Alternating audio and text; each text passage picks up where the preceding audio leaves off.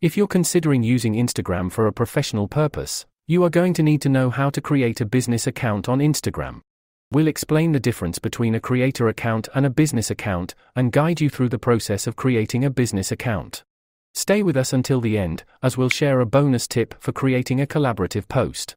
Let's get started. Creator accounts are aimed at public figures, content producers, artists, and influencers. In other words, individuals who are prominent enough to become their own brands. They produce digital content under their own name.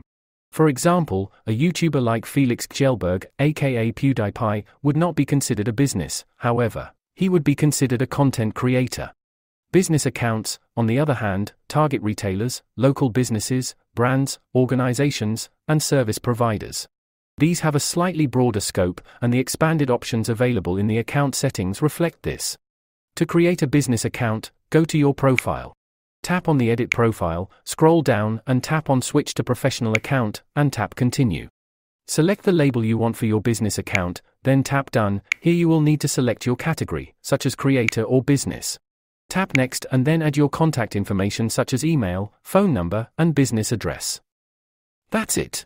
And as a token of appreciation for staying until the end, here's a bonus tip on creating collaborative posts, something you can now explore using your newly established business account.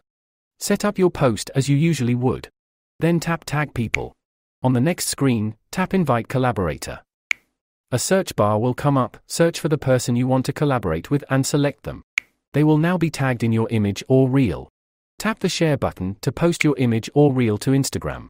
While you are waiting for the other person to consider your request, you will see the current invite status under your picture. Thank you for watching.